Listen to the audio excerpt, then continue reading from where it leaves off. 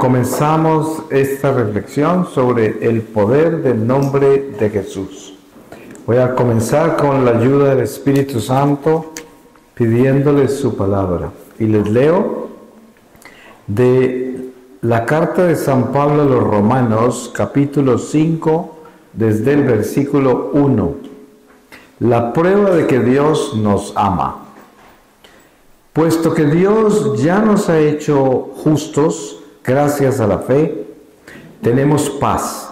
Paz con Dios por medio de nuestro Señor Jesucristo, pues por Cristo hemos podido acercarnos a Dios por medio de la fe para gozar de su favor y estamos firmes y nos gloriamos con la esperanza de tener parte en la gloria de Dios. Y no solo esto, sino que también nos gloriamos de los sufrimientos, porque sabemos que el sufrimiento nos da firmeza para soportar y esta firmeza nos permite salir aprobados y el salir aprobados nos llena de esperanza y esta esperanza no nos defrauda porque Dios ha llenado con su amor nuestro corazón por medio del Espíritu Santo que nos ha dado pues cuando nosotros éramos incapaces de salvarnos, Cristo a su debido tiempo murió por los pecadores. No es fácil que alguien se deje matar en lugar de otra persona, ni siquiera en lugar de una persona justa, aunque quizás alguien estaría dispuesto a morir por la persona que le haya hecho un gran bien. Pero Dios prueba que nos ama en que cuando todavía éramos pecadores, Cristo murió por nosotros. Y ahora, después que Dios nos ha hecho justos mediante la muerte de Cristo, con mayor razón seremos salvados del castigo final por medio de Él. Porque si Dios, cuando todavía éramos sus enemigos, nos reconcilió consigo mismo mediante la muerte de su Hijo, con mayor razón seremos salvados por su vida ahora que ya estamos reconciliados con Él, y no solo esto, sino que también nos gloriamos en Dios mediante nuestro Señor Jesucristo, pues por Cristo hemos recibido ahora la reconciliación. Palabra de Dios. Sabemos que dentro del misterio inmenso que hay de lo que es nuestra vida mesiánica, o sea, el Mesías entre nosotros, está su nombre. Como se dice, es el nombre que está por encima de todo nombre, en el cielo, en la tierra, en los abismos, donde el nombre de Jesús se escucha, se dobla toda rodilla. Este nombre, que es el nombre de Jesús, el Emanuel, es la libertad. Eh, sabemos que Jesucristo es Dios, la segunda persona en la Trinidad, un solo Dios en tres personas, y conocemos que el nombre de Dios, como se lo revela Moisés, es Yahvé, yo soy. Jesús, al presentarse entre nosotros en su vida pública, eh, aparece como esa fuerza extraordinaria que en el silencio de su presencia ocurrían milagros incomprensibles y continúan ocurriendo porque la prueba de sus promesas está muy clara en San Pablo y su conversión camino a Damasco, cuando Jesús se le aparece y lo enseguece con su luz y manifiesta esa promesa de que estará con nosotros siempre. Y además, el milagro extraordinario de que San Pablo, que no vivió los tres años de vida pública con Jesús como los otros apóstoles, al encontrarse con, Jesús, quedó lleno de su sabiduría, le quedó infusa. Eso quiere decir que nosotros, por el bautismo, hemos recibido la gracia infusa del conocimiento pleno de Jesús. Solo que nosotros tenemos que despertar a esa gracia. Tenemos que despertar a ella, porque está en nosotros. Y esta es la responsabilidad más grande porque cuando usted muera y se presente ante el tribunal de Jesús como nos tocará a todos nosotros, el Señor no le va a pedir nada que no le haya dado. Pero ¿saben qué sucede? Que a nosotros nos dio todo, nos dio su espíritu. Y su espíritu es la plenitud de Dios, la plenitud de la verdad. Santa Teresa de Ávila testificó que cuando su ángel la llevó al infierno, ella vio jóvenes que prácticamente llamó niños en el infierno. No eran niños inocentes, sino niños que ya tenían uso de razón. O sea, ustedes saben, cuando yo estaba secuestrado en Colombia por la guerrilla, habían niños de 11 años guerrilleros que ya habían asesinado hasta 50 personas. Un niño de 11 años. Obviamente que muy fácilmente un niño así se condena, ¿no? Eh, porque tenía plena conciencia de su maldad. Entonces, ¿qué sucede? Que ante el Señor nosotros no somos juzgados por la edad que tenemos, sino que somos juzgados por la conciencia que tenemos. Por eso es que el catecismo de la iglesia nos enseña que tienen que haber esas tres condiciones para cometer un pecado mortal. Así de que el, Papa San Juan Pablo II eh, formó una misión que se llamaba la Armada Blanca, que desafortunadamente casi que desapareció ya porque hubo cosas muy graves en la comunidad, pero la idea del Santo Padre era hacer algo que se hacía en iglesia hace muchos años atrás y era eh, mirar con cuidado a los niños para darse cuenta qué niños estaban ya conscientes y despiertos al pecado desde muy temprano. Por eso a veces habían casos en que hay niños que tenían que darle la primera comunión ya a los 5 o 6 años porque ya podían confesarse, porque ya tenían conocimiento pleno del pecado. Eh, desafortunadamente esto no, no se dio bien como San Juan Pablo lo quería, porque el diablo obviamente odia eso y quería tener esos niños en pecado sin que nadie les ayudara y esa misión de la Armada Blanca prácticamente se terminó. Eh, pero la intención es muy importante para entender la responsabilidad que tenemos ante Dios de acuerdo a nuestra conciencia. Pero tenemos que saber que el bautismo nos dio la plenitud de la sabiduría de Dios. No hay un católico inocente, porque hay gente que dice, ay, es que no saben. ¿Cómo así? ¿Y acaso no los bautizaron? Claro que sí saben. Lo que pasa es que son ignorantes. Hay gente que confunde ignorante con inocente. Usted sabe, el que ignora es que no le importa lo que sabe y hace lo que quiere. Ese es un ignorante. El que no sabe es un inocente. Pero cuando uno ignora lo que sabe, es un ignorante. Sí, eso es horrible ser un ignorante porque precisamente teniendo el conocimiento pleno de la verdad, la ignora y no le importa. Entonces, el nombre de Jesús precisamente representa la verdad de Dios. Ese es el nombre de Jesús, la verdad. Porque por eso decimos, ¿quién es Jesús? La vida, la verdad, el camino. Ese es el nombre de Jesús. Vida, verdad y camino. Cuando el demonio escucha ese nombre, sabe que no es Jesús Ramírez ni Jesús Cardona, sino Jesucristo. ¿Sí? Cuando oye el nombre de Jesús. Y por eso nosotros desde el corazón entendemos qué relación tenemos con ese nombre. Usted sabe que cuando nosotros tenemos situaciones difíciles en la vida, ahí sí aparece en nosotros la gran sabiduría de que Dios nos escucha y es misericordioso y de pronto nos puede ayudar. Y ahí sí brota de nosotros ese Dios que está vivo, porque lo necesitamos. Pero el llamado nuestro de concientización de lo que somos responsables, que es el don de la fe, el don del Espíritu Santo en nuestra vida, es que debemos crecer a esa sabiduría y despertarnos a ella.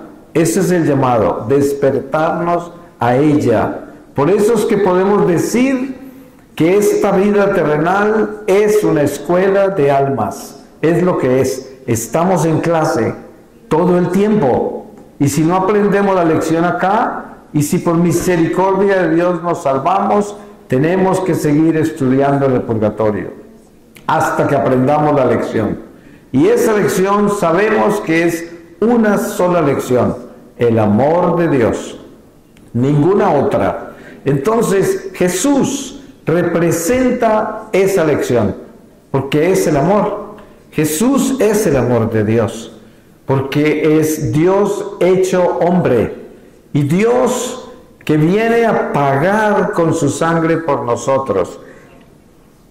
Por sentido común, por inteligencia humana, por sabiduría humana, el hombre dice, ¿qué necesidad tiene Dios de hacerse hombre como nosotros? En todo igual menos en el pecado, como dice la palabra, si Él pudiera haber hecho todo eso sin necesidad de tomar carne, porque es Dios, ¿qué hay imposible para Dios? Nada. Pero des en cuenta la obediencia de Dios a su propia creación. Dios es un Dios de orden y cuando Él entra en el tiempo humano, al encarnarse, Él entra en el orden del tiempo humano. La prueba está que Herodes decidió buscar al niño recién nacido matando todos los primogénitos que habían en esa área. ¿Y qué hizo Dios? Dios obedeció al tiempo y las circunstancias humanas y no eliminó a Herodes, se escapó a Egipto. Y eso causó muchas muertes porque murieron muchos niños inocentes. Lo que pasa es que para nosotros murieron muchos niños inocentes, pero lo que no sabemos es que en el, en el, en el curso de la realidad espiritual, esos niños son mártires. Por eso la iglesia tiene el Día de los Niños Inocentes, que son los mártires. ¿Y qué es un mártir? Lea el libro del Apocalipsis para que vea cómo le revelaron a San Juan quiénes son los mártires y qué lugar ocupan en el cielo. O sea, una bendición extraordinaria. Esos niños son privilegiados. Para nosotros, son unos mártires que fueron asesinados, pero ante Dios esos niños están muy bien colocados en la gloria eterna, igual que todos los mártires. ¿Por qué razón Jesús permite que sus mejores amigos, los apóstoles, todos sean mártires? Se dice que San Juan no fue mártir, pero ustedes saben todo lo que le pasó a San Juan. Primero que todo, el martirio de haber vivido el Calvario como único apóstol que caminó con el Señor es un martirio inmenso porque él era el apóstol del amor y el dolor que sintió junto con, con la Virgen María y las mujeres de Jerusalén que se atrevieron a caminar con el, con el Señor en el Calvario fue un martirio, lo mismo que todas esas mujeres. Y también Conocemos por la historia sagrada que a San Juan lo metieron en una paila de aceite caliente y salió más joven. Y se asustaron esos romanos que eran supersticiosos y lo que hicieron fue ponerlo preso. Pero el martirio Dios se lo da a quienes más ama. Suena absurdo, ¿no es verdad? ¿Cómo es posible que ese sea el gran amor de Dios que nos lance al martirio? ¿Cómo es posible? Pues es que así de lejos estamos nosotros de comprender lo misterioso que es Dios con relación a la realidad nuestra. Por eso es que tenemos siempre que meditar en el Calvario. Yo siempre le digo a la gente cuando está pasando por situaciones muy difíciles, eh, acerca del Via Crucis. El Via Crucis es una de las eh, prácticas devocionales más poderosas que hay, porque el Via Crucis es como el látigo más impresionantemente efectivo contra los demonios, contra las legiones, contra los ataques masivos de Satanás contra una ciudad, contra una familia, contra un proyecto de la iglesia. El Via Crucis es poderoso. ¿Por qué? Porque en el Via Crucis Jesús aparece como el perdedor para los ojos del mundo el que está maldito, el que va a ser crucificado afuera de los muros de Jerusalén, donde solo mueren los bandidos y todos se burlan y todos lo escupen y todos lo apedrean. Él es el que perdió para el mundo, pero dése en cuenta ese calvario que es la victoria. Y por eso nosotros tenemos que mirar prácticamente al revés para entender el derecho de Dios. Porque si no miramos al revés, no entendemos el derecho de Dios. El, Calvario es todo lo contrario. Esa cruz que lleva Jesús arrastra al demonio y todos los infiernos con él. Es una procesión donde lleva arrastrado el mal. Ese es el martirio, esa es la muerte del cristiano, ese es el sacrificio que hacemos nosotros para fortalecernos. ¿Por qué es poderoso el ayuno? Porque el ayuno ata la naturaleza humana, carnal, mortal y la somete a la obediencia. Entonces, para el ser humano es una contradicción aguantar hambre. La gente del mundo no va a entender que usted aguanta hambre, deje de comer. Dice, está loco, usted es un fanático, usted qué piensa que así le van a dar cosas, que así le va a ir bien. Pues es que no se dan cuenta que nosotros estamos es ayunando, pero estamos ayunando con una fuerza espiritual que somete nuestra naturaleza humana al espíritu.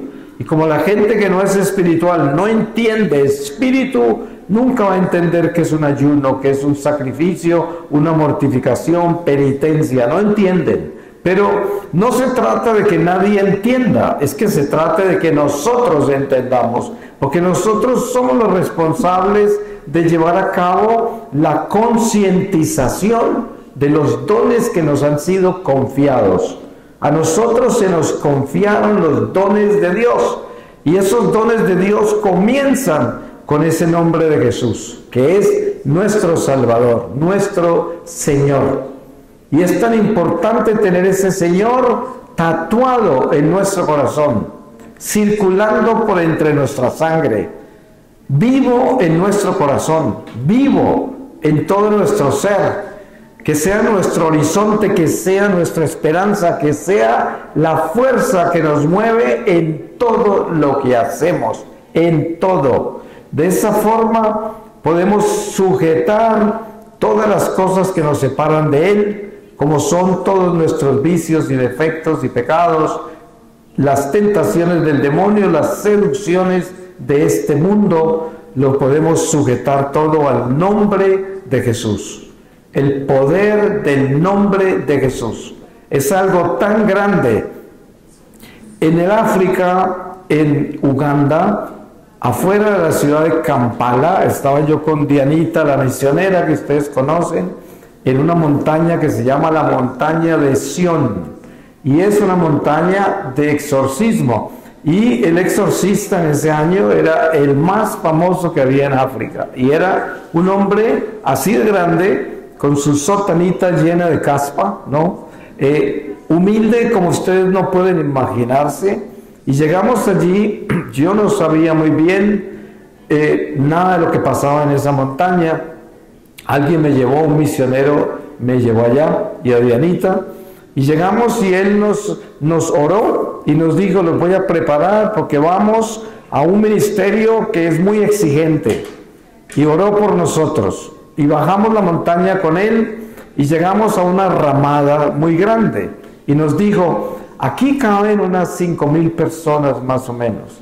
Y dice, en unas dos horas aquí no van a caber porque vienen mucho más de cinco mil. y van a estar allá en esa montaña y por todos lados.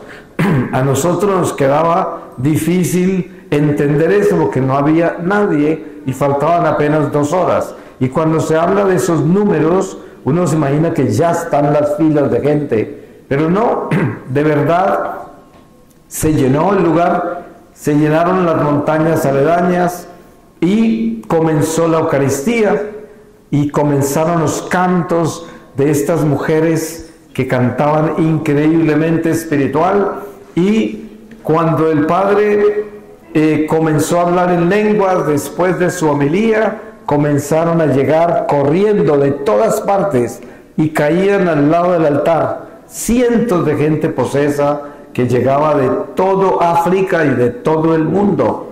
Muchos los habían traído amarrados en camisas de fuerza, todo, porque era el exorcista más famoso que había. Y era el hombre más sencillo, más humilde que se pueden imaginar. Y la fuerza más grande de ese sacerdote para sus exorcismos era el nombre de Jesús, ¿sí?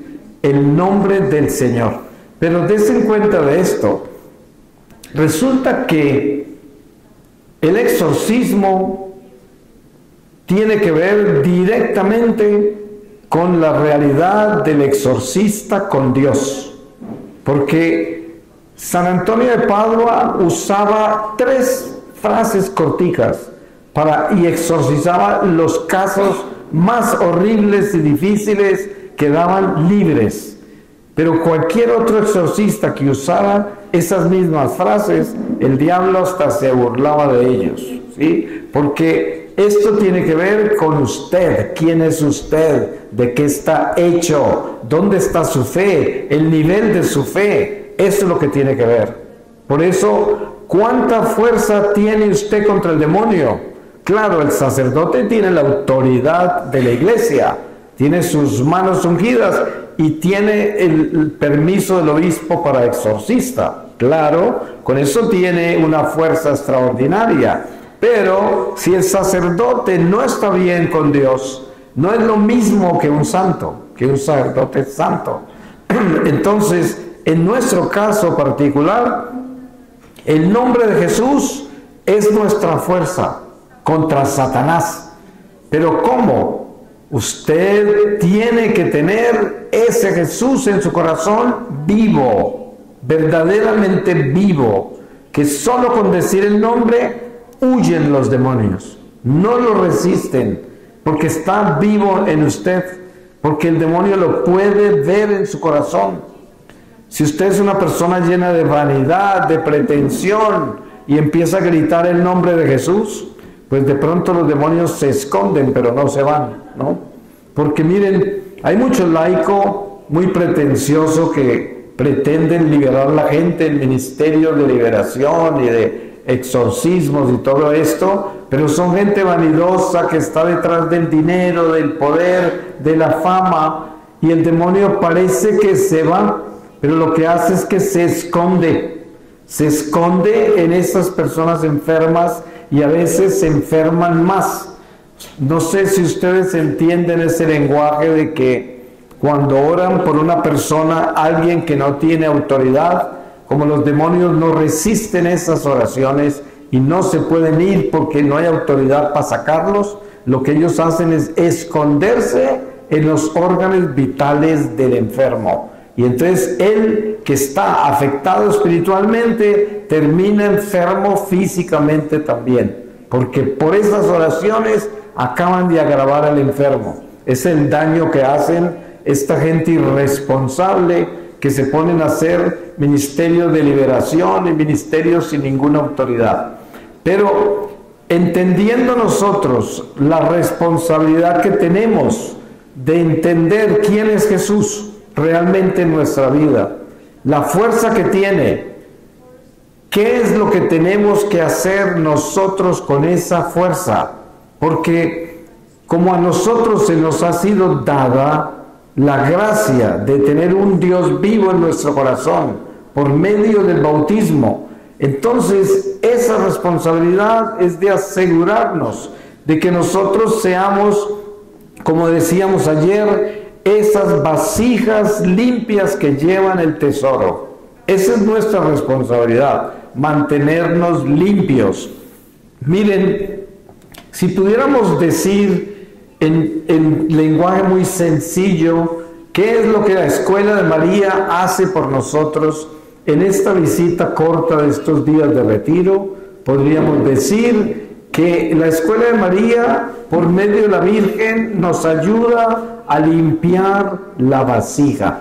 A eso es lo que nos ayuda, a limpiar la vasija para que pueda reinar Jesús en nosotros, para que el reinado de Dios se pueda dar en nuestro corazón, porque, porque llegamos a limpiar esta vasija y sabemos que todos necesitamos constantemente estar limpiando esta vasija de barro, este ser humano carnal, terrenal, racional que somos nosotros. Y no es cosa sencilla limpiarla, porque ustedes saben todo lo que hay que sacar para que quede limpia. Todo, tanta cosa, sobre todo una de las basuras más contaminantes que nos disminuyen más como seres humanos es la idolatría. Y esta sí que es pesada de sacar. Como decíamos también en otra reflexión en estos días, San Pablo nos pide que le pongamos cuidado al ejemplo que tenemos de los hebreos en el Éxodo, para que nos demos cuenta cuántos morían porque no querían soltarse de sus pecados, de la idolatría, de la fornicación, de tantos pecados, y morían, morían, no los soltaban, y Dios les estaba advirtiendo. Pero ¿qué creen ustedes que está haciendo Dios con nosotros hoy? Lo mismo, nos está diciendo, suelten esa idolatría, suelten esos pecados horribles de la carne, suelten todo eso que los separa de mí, suéltenlo, ahora que pueden ahora que pueden, porque llegará un momento en que ya no podrán, porque el tiempo se acabará cuando todavía tenemos la gracia, se acabará, y entrará la justicia. Y la justicia entra instantáneamente cuando el alma se separa del cuerpo. Y ese momento ya viene, ya llega. El momento en que partiremos ya llega llega en cualquier momento. Anoche estaba invitado a darles una reflexión a un grupo de irlandeses de Belfast, del norte de Irlanda, que me invitaron a compartir con ellos un momento de reflexión. Y había un señor que ayer, no, antier, en la misa en inglés en la parroquia, eh, murió dos veces le dieron dos infartos. Las dos veces lo resucitaron otra vez, lo devolvieron, un médico que había, y ahí estaba. Pero el Señor había pasado por dos ataques cardíacos en la iglesia, en la parroquia, en medio de la misa. Y estábamos hablando precisamente de eso, de que yo no sabía eso, pero en la charla que le estaba dando, estaba diciendo, Ustedes saben que aquí mismo, en este momento, o en cualquier lugar donde estemos, por muy bien que creamos que estamos, podemos caer así muertos. Y el Señor se para y me da el testimonio y me dice, ayer yo era ese, yo caí dos veces, dos veces me morí. Y esto fue un testimonio real porque eh, es nuestra realidad nuestra realidad es que así de frágil es nuestra vida. ¿Y saben qué? En el momento de la muerte es cuando más vamos a necesitar comprender ese nombre de Jesús. Porque saben que si usted en la transición de esta vida a la otra es capaz de pronunciar ese nombre con todas las fuerzas de su ser, usted va a atravesar el umbral de la oscuridad hacia la luz, porque es sabido que en el momento de la muerte la gente no puede ni rezar, no le salen ni las oraciones. Así es. Yo no sé cuántos de ustedes han estado al lado de un moribundo. y mucha gente en su agonía no puede ni pronunciar una oración, no les sale. Y esto es lo que debemos entender, la fuerza que necesitamos para tenerla en nuestro corazón de verdad.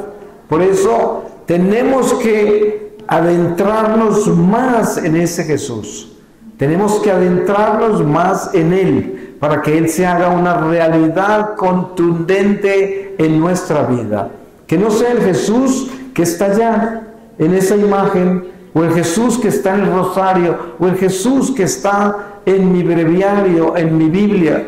No, ese Jesús que vive en mi corazón, ese, ese que yo necesito, ese poder del nombre de Jesús que cuando yo lo pronuncio, estoy pronunciando a mi Dios, a mi Señor, a mi fuerza, a mi vida, a mi verdadera fe, a mi verdadero destino y razón de ser, ese, ese Jesús. Y esto es lo que debo tener, pero tatuado en mí, tatuado en mí, porque si usted se examina bien y con sinceridad, de pronto se da cuenta que ese Jesús está allá, por allá en la oración, en una nube, por allá arriba, o está por allá cuando usted va a la iglesia, o está ahí cuando se confiesa, pero no está acá, no está acá y no camina con sus propios zapatos, no está en su estómago, no está en su corazón ni en su sangre, está allá en esa novena, está por allá, está en su religión,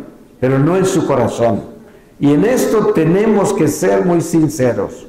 Jesús tiene que estar en mí, adentro de mí, una realidad en mí. Si no está así, hay que empujarnos hacia allá, porque todo lo demás es externo, es banal, es religioso, no es espiritual, no es real, no cambia corazones, no nos convierte, no tiene fuerza, no sirve de nada, no nos lleva a la misión para la cual fuimos enviados porque fuimos enviados a llevarlo a Él, no a llevarnos nosotros. Yo puedo aparecer acá como el gran predicador y aparecer en la gran misión, oh, qué hermosura, en la escuela de María y salimos por las redes y la gente y los ratings crecen y toda esta vanidad y esta pretensión y toda esta superficialidad. ¿Y de qué sirve eso si no tengo a Jesús en mi corazón de verdad? Y ese Jesús no se manifiesta sino a través de mi caridad, a través de mi amor, porque si Jesús vive en mí, yo tengo que ser un Cristo vivo, una, una persona como hablábamos antes, que tiene gozo, que tiene esperanza, que tiene fe, que tiene amor, que tiene caridad. Ese es el Jesús vivo. Voy a terminar con una lectura y les leo a ustedes de la carta del apóstol Santiago, capítulo 5 desde el versículo 7, esperar con paciencia. Pero ustedes, hermanos, tengan paciencia hasta que el Señor venga. El campesino que espera recoger la preciosa cosecha tiene que aguardar con paciencia las temporadas de lluvias. Ustedes también tengan paciencia y manténganse firmes porque muy pronto volverá el Señor. Hermanos, no se quejen unos de otros para que no sean juzgados, pues el juez está ya a la puerta. Hermanos míos, tomen como ejemplo de sufrimiento y paciencia a los profetas que hablaron en nombre del Señor, pues nosotros consideramos felices a los que soportan con fortaleza el sufrimiento.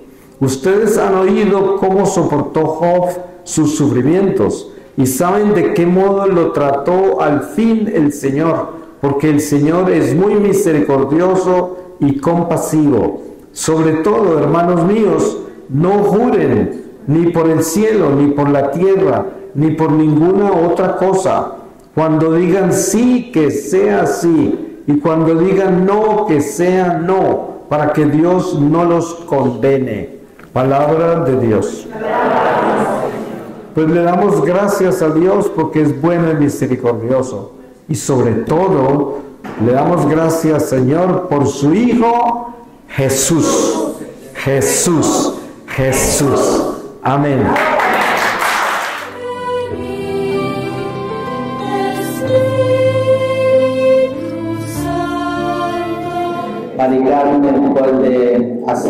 Una oración, por favor.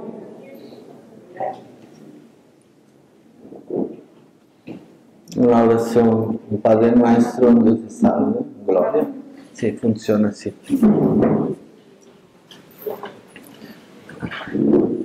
Padre nuestro que estás en el cielo, santificado sea tu nombre. Venga a nosotros tu reino. Hágase tu voluntad en la tierra como en el cielo. Danos hoy nuestro pan de cada día. Perdona nuestras ofensas, como también nosotros perdonamos a los que nos ofenden. No nos dejes caer en la tentación y líbranos del mal. Amén. Dios te salve María, Llena eres de gracia, el Señor es contigo. Bendita eres entre todas las mujeres, y bendito es el fruto de tu vientre, Jesús. Santa María, Madre de Dios, ruega por nosotros pecadores, ahora y en la hora de nuestra muerte. Amén.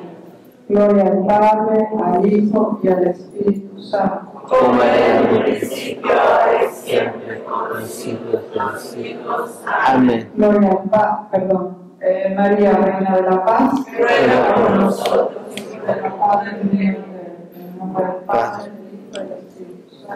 Amén.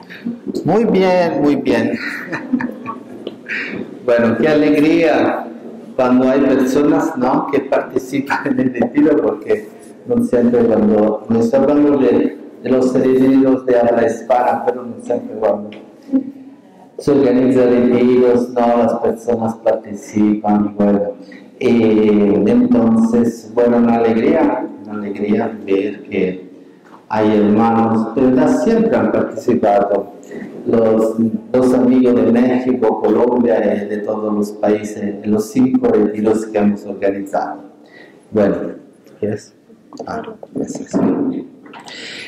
Entonces, el tema de hoy, yo siempre hago una meditación bíblica. Son siempre cuatro, hago cuatro meditaciones. Dos meditaciones más sobre la espiritualidad mariana de la Virgen Reina de la Paz. Una meditación bíblica, claramente, porque es importante por mí hacer una meditación más bíblica, así uno puede entender, claro, que la escuela de María siempre la fuente es la Eucaristía, y en la Eucaristía hay la palabra y el cuerpo de Cristo. Y también la última es siempre un poquito más profética, ¿m? una visión más profética porque de verdad Medjugorje es un mensaje profético. Entonces una pequeña introducción. El Espíritu Santo, que es Señor da vida, fue enviado a fecundizar el seno virginal de María para concebir al Hijo del Padre. Una pequeña introducción. El Verbo se hizo carne. Por eso el Espíritu Santo es considerado el esposo de la Virgen María. Es un esposo espiritual que la transforma en su templo. Es una de las letanías. En el primer tabernáculo del Hijo de Dios. Bueno, ya lo hemos visto. Una pequeña introducción. Ahora, la Sagrada Escritura. Estamos hablando del Espíritu Santo en el Antiguo y en el Nuevo Testamento. Y la Sagrada Escritura desde el Antiguo Testamento es importante porque poco se habla del Espíritu Santo, ¿no? Entonces, ¿dónde está el Espíritu Santo en la Sagrada Escritura? Ah, sí, está, ¿no? Todo en la enunciación, ¿no? Ah, en la visitación. ¿Y dónde está el Espíritu Santo en el Antiguo Testamento? ¿Dónde está el Espíritu Santo en los Evangelios, no en el Nuevo Testamento? Entonces, ayuda a comprender que nada de lo que es bueno, verdadero y santo en el mundo puede explicarse independientemente del Espíritu de Dios. Una primera referencia velada al Espíritu se encuentra desde las primeras líneas de la Biblia en el himno a Dios Creador con el que abre el libro del Génesis. Al principio Dios creó el cielo y la tierra. La tierra era algo informe y vacío, las tinieblas cubrían el abismo, el soplo de Dios aleteaba sobre las aguas. Génesis capítulo primero, el soplo de Dios. Para decir espíritu se utiliza aquí la palabra hebrea ruach, que significa aliento, y puede designar tanto el viento como el soplo, pero un soplo divino. Así que lo que quiero decir es que el pueblo hebreo hizo un camino para llegar ¿no? al conocimiento de la Santísima Trinidad, el Padre, el Hijo, la Palabra, el Espíritu Santo. Así que en sí misma la indicación original parece referirse simplemente a una situación cósmica, cioè del mundo, en la que Dios interviene para poner orden. De verdad era así, era el caos. Dios pone orden, pero ¿cómo pone Dios orden o cómo crea?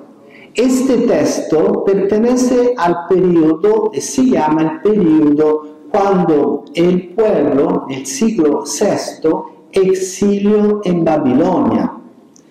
Por la infidelidad del pueblo, el pueblo, claro, fue exiliado, fue en exilio. Cuando la fe de Israel había alcanzado explícitamente la concepción monoteísta de Dios, tomando conciencia, gracias a la luz de la revelación y a la experiencia del alejamiento de la tierra y de su templo, de la potencia creadora del único Dios y del Espíritu Santo.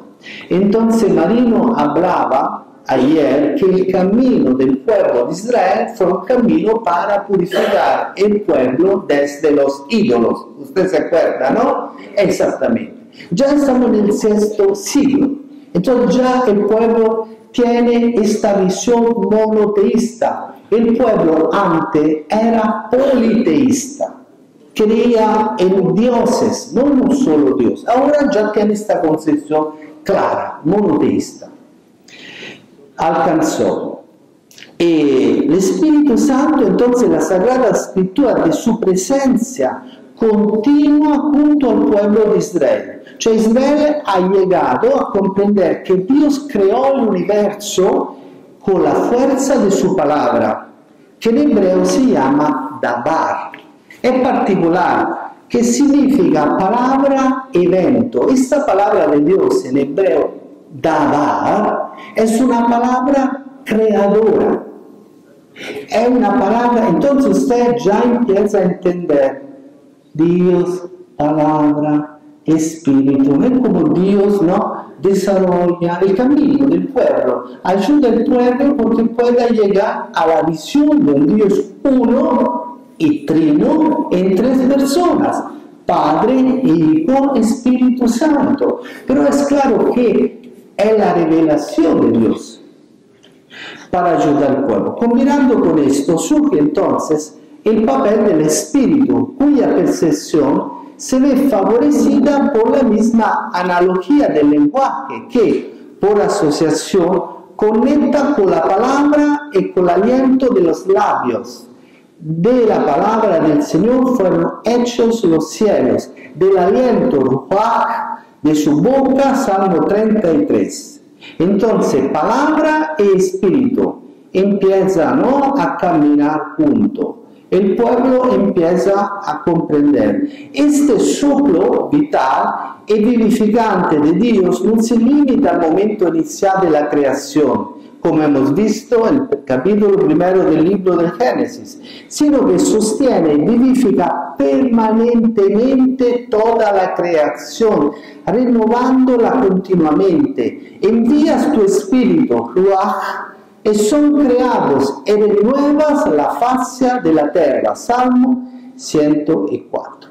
Esta condición, el soplo vital, nos hace comprender que es el Espíritu que da vida a algo que antes no estaba vivo, investido por el Espíritu de Dios, toma vida. Y por tanto es el dador de vida el que da vida, como se canta en el Beni Creator Spiritus. Beni Spiritu Creator. Por tanto, es la dunamis, cioè la potere, potere, dunamis è la palabra que significa poder, la dunamis de Dios, el poder de Dios.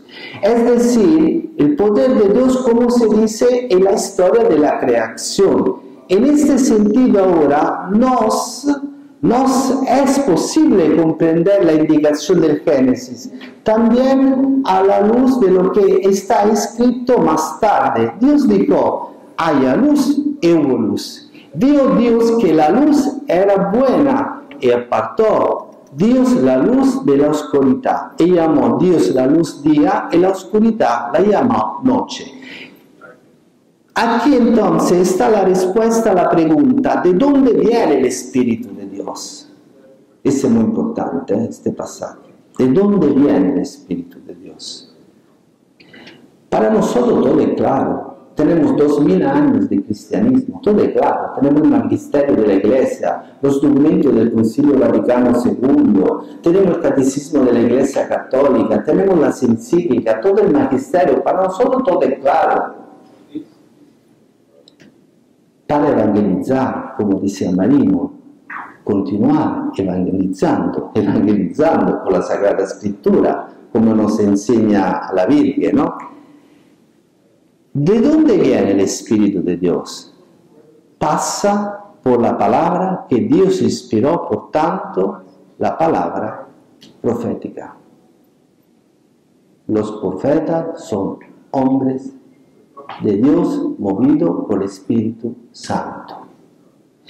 ¿Cómo se puede ver? El Espíritu está conectado a la palabra de Dios y de hecho es precisamente referencia a la palabra de Dios a través de los profetas, que la presencia del Espíritu es más indicada. El Espíritu del Señor vino sobre mí y me dijo, habla, dice el Señor, dicho Ezequiel en el capítulo 11, el profeta Ezequiel. Durante y después del exilio en Babilonia, toda la historia de Israel se profundiza como un largo diálogo intercambiado por Dios con el pueblo elegido a través de su espíritu, a través de los del pasado, Ezequiel y Zacarías.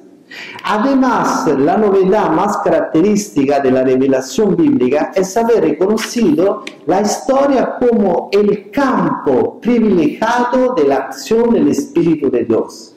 Es muy importante, es muy importante, la nueva era habla de un espíritu, es muy importante, el espíritu de Dios es persona, es persona, no es el espíritu cósmico de la nueva era evanescente ¿Entiende? Es persona, es Dios. Es la tercera persona de la Santísima Trinidad.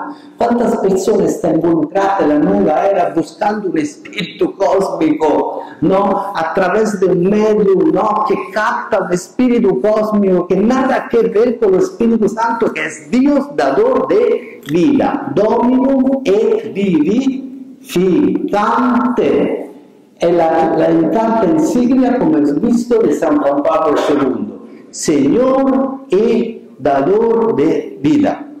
El camino por el desierto, una jornada de camino, e fue a sentarse bajo una planta. Estamos hablando ahora del profeta Elías, que usted preguntaba en Tijalina, ¿quién? Aquel hombre que tiene un cuerpo en la mano, el profeta Elías, ¿se acuerdan? No? El profeta Elías, que se deseó la muerte, dijo, basta Señor, toma mi vida, porque no soy mejor que mis padres. Lo que también me gusta, estaba diciendo Marino, que mm, el profeta Elías, le mató cinco mil profetas, ¿no? Cinco mil profetas que eran profetas paganos, Después, ¿no? Jezabel, la, la mujer de rey, ¿no? Envió un mensajero a decir a Elías, mañana tú estarás muerto. Y fue lleno de temor. Eso me gusta mucho, la debilidad humana. Un hombre que mata, claro, imaginen, cinco mil profetas, después llega una mujer, él como un niño escapó. Como un niño escapó. Esta es la condición humana. Tenía que pasar, ¿no? Y mirò e vio a su cabecera una torta cocida su dientes, ¿no? E un jarro de agua. Comió y bebió y se volvió a acostar. Vio segunda vez el ángel del Señor le tocó y le dijo, levántate, come, porque el camino es demasiado largo para ti. Se levantó, Elías comió y bebió, y con la fuerza de aquella comida caminó 40 días y 40 noches hasta el monte de Dios. Este también estaba hablando marino, cómo se manifiesta. Ahí entró, estaba hablando ¿no? de este marino, no sé si está en sala marino, parece, ¿no? Estaba hablando de Elías, no de la cueva, me parece, ¿no? ¿Verdad? De la manifestación de Dios, no si me acuerdo mal. Y fue dirigida de la palabra de Yahvé que le dijo, ¿qué haces aquí, Elías? ¿Qué haces? ¿No? Dejaste tu pueblo, ¿qué haces? ¿No? ¿Qué haces aquí? Y sí, estar en el temor, ¿qué haces aquí escondido, Elías? ¿Qué haces? Esta es la condición humana. Él dijo, ardo de celo por Dios. Dios Sabaoth, Dios de los ejércitos, porque los israelitas han abandonado tu alianza, han derribado tus altares y han pasado a espada tus profetas, cuando yo solo busca mi vida para quitármela. Le dijo, sal y ponte en el monte de Yahvé. Entonces, la manifestación de Dios. Llegó un huracán. Dios no estaba en el huracán. Después llegó un temblor, fuego, pero Dios no estaba en el fuego, Dios no estaba en el temblor. Llegó una brisa suave. Al oírlo, Elías cubrió su rostro con el manto, salió y se puso en la entrada de la cueva. Le fue dirigida una voz que le dijo, ¿qué haces aquí, Elías? El primer libro de los reyes el capítulo 19. La perspectiva profética apunta sobre todo al futuro como tiempo privilegiado en que se cumplirán las promesas en el signo de la Ruach divina. Isaías anuncia el nacimiento de una descendencia particularmente marcada por la presencia del Espíritu. El Espíritu del Señor posará sobre él el Espíritu de sabiduría es aquí que tenemos los siete dones del Espíritu Santo, ¿no? A través del texto de Isaías. De inteligencia, espíritu de consejo, de fortaleza, el espíritu de conocimiento y de temor del Señor. Se deleitará en el, en el temor del Señor. No juzgará según las apariencias, ni tomará decisiones basándose en rumores, pero juzgará a los pobres con justicia y tomará decisiones justas por los oprimidos de la tierra. Este es el nombre que dona. ¿Está hablando de qué esta profecía, según ustedes? ¿Está hablando de quién? Está hablando del Mesías. Es una profecía mesiánica. ¿no? Para hacer un balance sintético de la misteriosa identidad del Espíritu en el Antiguo Testamento, indicamos dos rasgos muy claros. La trascendencia del Espíritu al que a veces se llama santo. El Espíritu de Dios es divino en todos los aspectos y no es una realidad que el hombre pueda conquistar con su propia fuerza, sino un don que desciende de lo alto, solo puede ser invocado y acogido. La fuerza dinámica del Espíritu que se revela en sus intervenciones en la historia. Estamos en el tercer día de la novena en preparación de la Pentecostés, del Pentecostés. El Espíritu de Dios obra, actúa en la historia, cambia la historia. Y nosotros somos llamados a ser testigos del Evangelio y a ser hombres y mujeres que guiados por el Espíritu cambian la historia de una sociedad, de un pueblo, de una familia, de una cultura. ¿Qué responsabilidad que tenemos como cristianos? Si permitimos al Espíritu Santo, que el esposo de María Santísima, de guiarnos hoy en la sociedad, hoy eh, te somos llamados a evangelizar, no ayer, hoy somos llamados. Tan pronto como fue bautizado Jesús, salió del agua, ¿no? Aquí está hablando, claro, el Evangelio de San Lucas. Pero, terminando la parte Antiguo Testamento, decimos este. A otras culturas, como por ejemplo la concepción del Espíritu como algo evanescente, lo que estaba diciendo a veces antes. A veces se corre el riesgo de proyectar sobre la imagen bíblica del Espíritu a otras culturas, como por ejemplo la concepción del Espíritu como algo evanescente. Por el contrario, la idea bíblica de Ruach indica una fuerza supremamente activa y poderosa que transforma el caos en cosmos, la muerte en vida, el espíritu dador de vida. La presencia del Espíritu de Dios en el Nuevo Testamento. El Nuevo Testamento eh, teologiza el concepto del Espíritu que en griego se llama, ¿cómo se llama el Espíritu en griego? Pneuma. En todas sus apariciones siempre tienen que ver con Dios.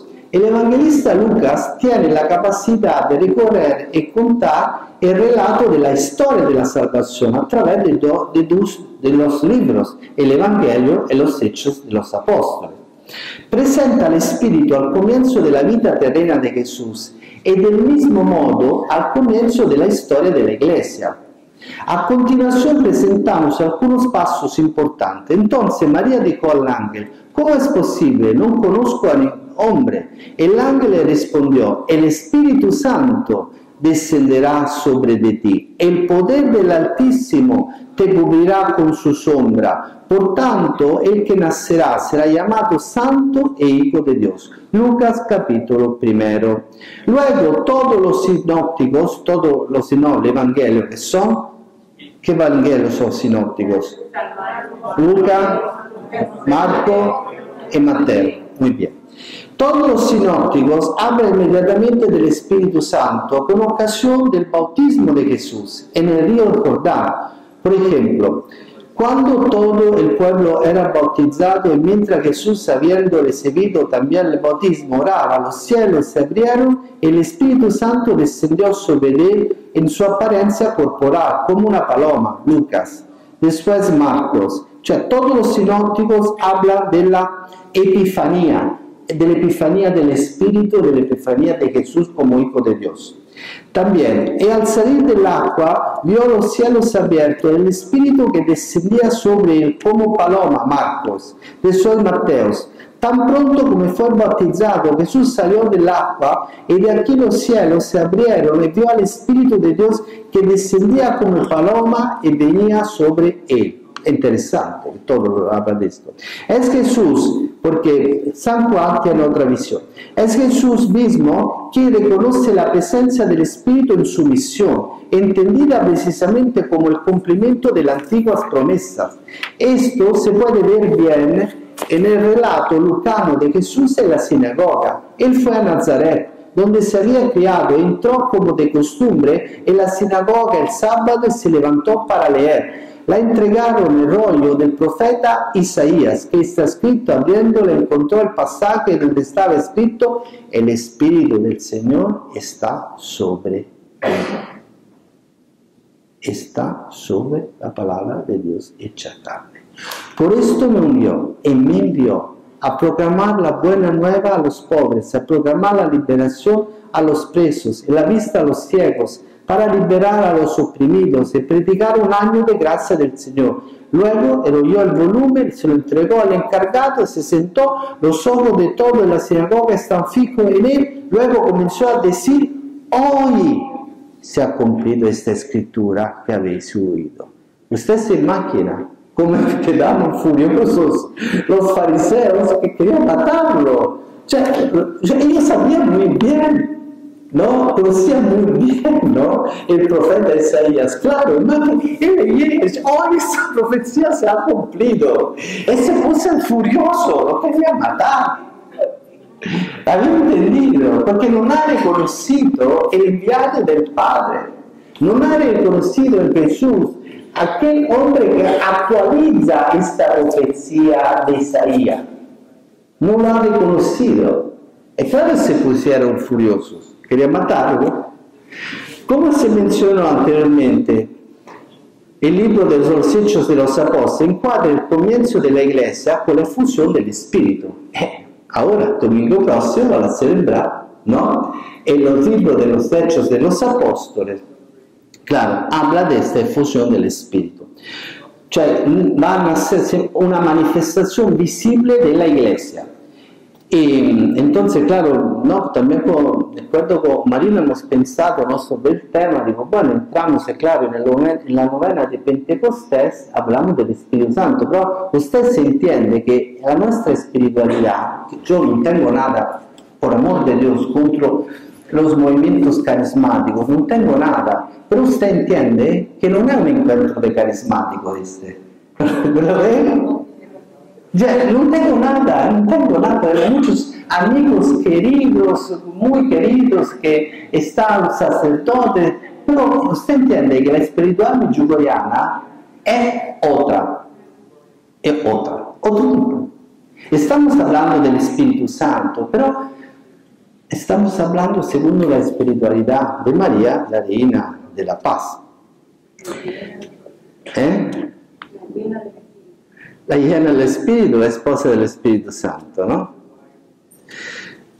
Come se mencionó anteriormente, el libro de los Hechos de encuadra el comienzo de la iglesia con la fusión del Espíritu, exactamente.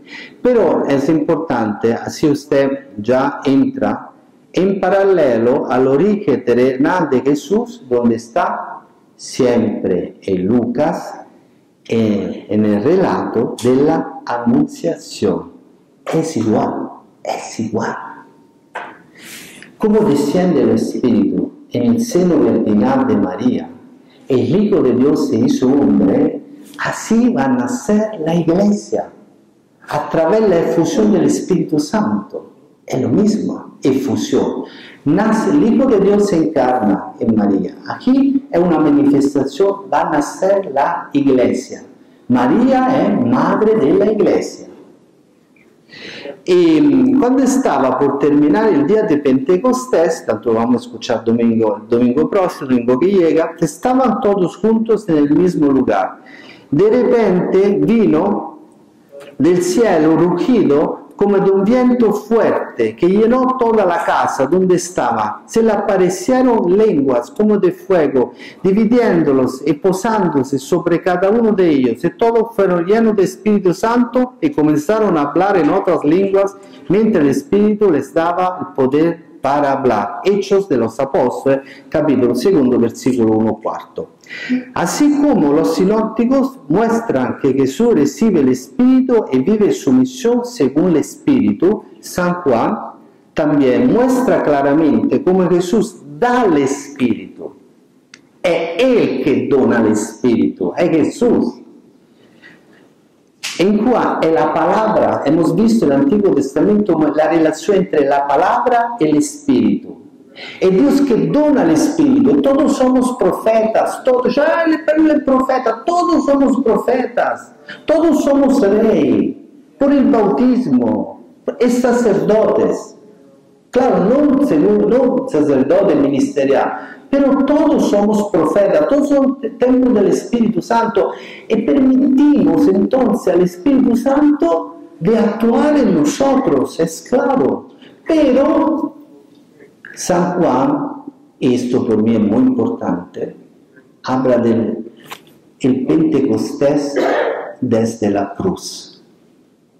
Cuando estaba muriendo, Jesús emitió el Espíritu. Entonces, es que desde la cruz, desde la muerte de Cristo, recibió el Espíritu Santo.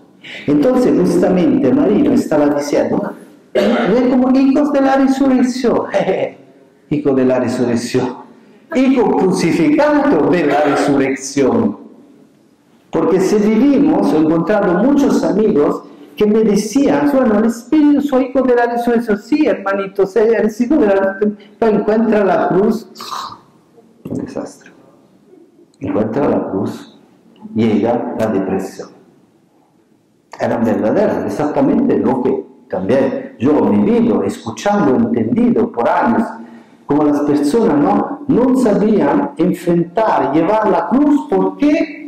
Porque pensaba de vivir como hijo de la resurrección. Claro, somos hijos de la resurrección, pero somos hijos crucificados de la resurrección. Y a través de la conformación a la cruz, que somos hombres y mujeres del Espíritu Santo. Hay un ejemplo, San Pablo. ¿Qué tenía San Pablo? Las estimas. San Francisco que tenía estimas. San Pablo que tenía estimas. Esa es la perfecta conformación. Claro, es un don particular, una manifestación, pero todos somos llamados a tener las estimas. Solo son visibles las estimas de Francisco, de San Pío, eh, bueno, de Pablo no, no eran visibles, pero de San Francisco fuera, eran visibles pero como para decir, esta es la perfecta conformación a Cristo, este es el hombre del Espíritu, un hombre de paz. Francisco fue un hombre de paz. ¿Por qué fue un hombre de paz? Porque se dejó crucificar con Cristo. Pero para ser libre, no para caer en la depresión, ¿entiendes? No para ser un hombre deprimido, sino para ser un hombre libre, libre, libre de sí mismo, libre del mundo, para servir al mundo, para amar al mundo como creación de Dios, no como el espíritu del mundo, claramente, que es el espíritu del anticristo, sino también como creación de Dios, para servir a los hermanos. Pero para hacer esto tengo que conformarme a Cristo. Porque si no lo hago, no vivo la comunión con Cristo y no soy hombre del Espíritu, porque no permito a la cruz de Cristo, la redención, de purificarme y de cambiarme. Entonces no me permito de, convertirme, yo necesito de conversión diaria, todos necesitamos de una conversión diaria, de una conformación. Ahora, es claro que por mi franciscano veo el, el Padre de San Francisco, es claro, alter Christus, así se llama Francisco, cioè altro è Cristo. Pero después de ocho siglos de historia, murió ya ocho siglos, 800 años, tenemos un hombre universalmente reconocido como hombre de paz, discípulo de Cristo, discípulo del Evangelio, porque se dejó conformar a través del Espíritu Santo a la cruz del Señor. Terminamos, terminamos. Sí. Eh,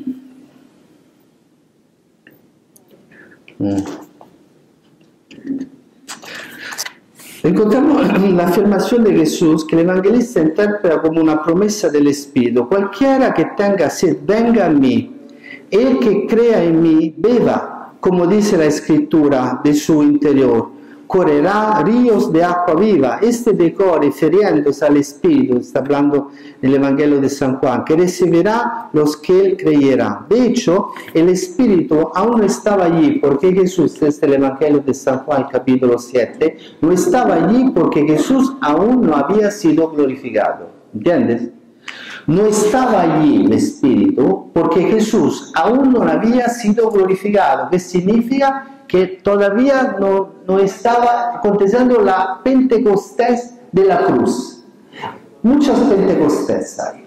La Pentecostés, claro, Pentecostés en la Anunciación, la primera Pentecostés. La segunda, el segundo Pentecostés, el Pentecostés de la cruz. El tercero Pentecostés es cuando el Pentecostés en la iglesia, cuando están los apóstoles con María reunidos.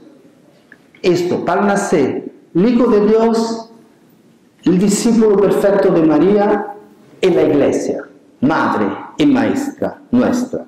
La invitación de Jesús a acercarse a Él para beber tiene su inspiración en la sabiduría y la literatura profética. Solo hago, solo, bueno, porque no tenemos el tiempo, pero esto eh, lo encontramos, por ejemplo, en también hoy cito mucho Marino, pero justamente ayer citaba la liturgia Eh, la liturgia è vita, la liturgia, la traduzione di Turchia significa acción por el pueblo.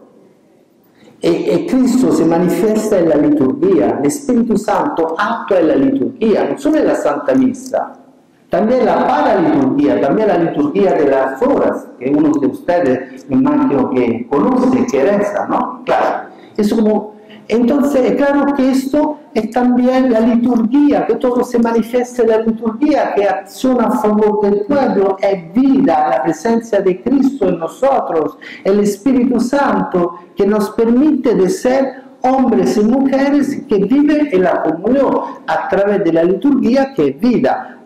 ¿Dónde está el Antiguo Testamento? A la fiesta de las tiendas. ¿Ok? Esto. Y también claramente, voy corriendo, también ne, habla claramente mm, el evangelista San Juan. Después, en este escenario cultural, culto, cultual, las palabras de Jesús significa que la verdadera fuente de agua viva a la que debemos acudir para saciar nuestra sed es Él mismo. Cuando habla con la samaritana, ¿dónde tenemos que adorar? ¿En este monte o en Jerusalén? El agua viva es Él, Jesús, la fuente que dona el agua viva, la, fuente. El que cree en mí beba, es la fe, también que necesitamos. Cioè Jesús necesita de nuestra fe. Es la nuestra fe que este deseo ¿no? que del agua viva. La revelación traída por Jesús, la explicación del evangelista San Juan, refiere el agua viva al Espíritu, indicando así el significato completo del texto. En efecto, en el Antiguo Testamento el don del Espíritu estaba asociado a la imagen del agua, Isaías y Ezequiel. El agua viva ofrecida por Jesús es por tanto símbolo de la revelación divina del Espíritu. De esta manera el Espíritu y la palabra se unen bajo el mismo signo de la agua en el bautismo. El bautismo. La entrega del don de la palabra y del Espíritu se produce en dos etapas. En el tiempo presente Jesús da la revelación de Dios Padre. En el futuro, cuando ocurra la glorificación de Jesús, Él derramará el don del Espíritu sobre los creyentes. La promesa de Jesús, pronunciada en la fiesta de las tiendas, se realizará en la glorificación del Señor, en el misterio de su muerte en la cruz. La unión entre el don del Espíritu y la palabra se expresa a menudo con la expresión espíritu y verdad o espíritu de verdad, como se ve, por ejemplo, en la historia de la mujer samaritana, como hemos dicho, el Señor ¿no? le ha dicho, soy yo que te hablo. Ella tenía sed de agua, e Jesús la ayuda a entrar en una dimensión más profunda, cioè el deseo del agua viva del Espíritu. Ella empieza a entender, porque la mujer tiene esta inteligencia intuitiva mucho más que los hombres, decirlo así. Sí, la verdad, la verdad. Eh, sí, es la verdad, porque la, la mujer intuye, el, hombre eh, fatiga bastante para intuir, no tiene... Esta, este cerebro capaz como la, ¿por qué intuye? Porque es más sensible del hombre, porque eh, sabe eh, coger el particular, l'uomo no, yo dico, se entra un elefante rosa aquí caminando, no, l'uomo non lo ve, non lo ve, porque el hombre hecho así, Entonces, la broma, pero sí, entonces yo entiendo las mujeres cuando van, ¿no? Se ponen bonitas así con los pelos, ¿no? O se, se, se compra, ¿no? Una camisita, dice, no me mira, él no lo ve, no lo ve, queridas, es así, no tiene este cerebro, eh, la mujer tiene que entenderlo, que el hombre no tiene este cerebro para ver el particular. Se usted pone so, una pulsera no nueva, o sea, no sé qué sea, no lo ve. Es así. es así. Entonces yo no me ama porque no me ve. No, no es así, es que su cerebro así. Es así. Eh, eso es. Somos diferentes, ¿no? Entonces Jesús contesta, soy yo quien te hablo. Así que la palabra Jesús entregó al Espíritu en San Juan indica, como nos dicho, literalmente la misión del último soplo vital, la exaltación de Jesús. Jesús, todo el Evangelio de San Juan habla de la exaltación. Esta expresión es única, interesante este, ¿no? En la literatura porque significa muerte. Jesús, habiéndolo cumplido todo, concede al Espíritu. Esta interpretación se ve reforzada por el episodio que siguió a su muerte. Cuando llegaron a Jesús y vieron que ya estaba muerto, no le quebraron las piernas, pero uno de los soldados le golpeó el costado con una lanza y al instante salió sangre y agua. Última dos. Quindi el derramamiento de agua del costado herido de Jesús sugiere el cumplimiento de las promesas pronunciadas en la fiesta de las tiendas. De su seno correrán ríos de agua viva. Esto lo dijo refiriendo, como está escrito en el capítulo del Evangelio de San Juan, el capítulo 7, refiriéndose, refiriéndose al Espíritu. Por tanto, el Nuevo Testamento muestra que Jesús y el Espíritu son inseparables y que existe una unión íntima entre el Espíritu Santo y la palabra de Dios. Amén.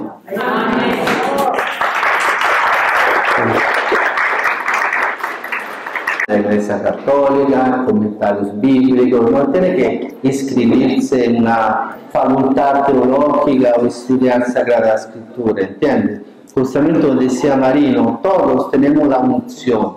El problema es despertar la unción, porque todos somos bautizados. Entonces no es que, ¿entienden? Todos ustedes ya saben esto y ya lo entienden, porque si usted no lo entendía, usted, ¿entiendes? Cioè usted, yo Abraham, usted entendía. ¿Por qué entendía? Porque usted tiene la unción del Santo. Si usted no tendría la unción del Santo, era como árabe para ustedes. Pero ha entendido muy bien. Porque tiene la unción del Santo que le permite de entender lo que la Sagrada Escritura nos revela claramente, ¿no? Y que la Iglesia nos ayuda, ¿no? Desarrollando, profundizando la revelación nos ayuda a entenderlo. ¿no? Entonces, el estudio, la oración el estudio.